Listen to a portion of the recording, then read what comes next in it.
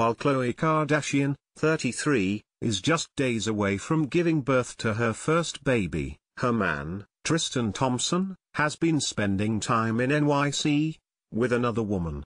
By now, you've probably heard about Tristan getting cozy with a mystery woman at PhD Lounge on Saturday, April 7, and how they were also spotted entering and exiting his hotel together. Initially, her identity was a mystery, but according to Daily Mail, she's been ID'd as a strip club worker named Lani Blair. It's still unclear if Tristan actually cheated on Khloe with Lani, but considering she allegedly entered his hotel with him at 5 a.m. ET on April 8 and didn't leave until 8 p.m. that evening, after they were pictured getting cozy, things seem super suspicious, especially considering TMZ released a surveillance video of Tristan kissing and motorboating two other women in October 2017, when Khloe was three months along in her pregnancy.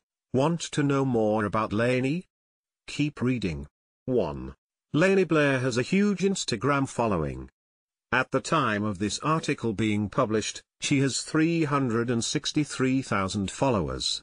We can only guess that she'll have thousands more in the next few days, as more people hear about her eventful night with Tristan.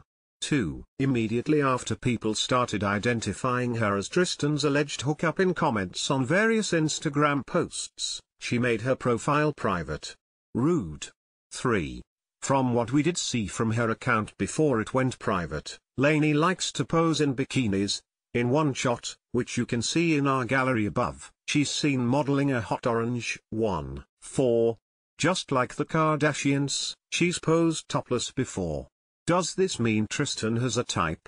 Watch the video, here. 5 According to various modeling profile sites online, she is 28 years old, as she was allegedly born on June 6, 1989.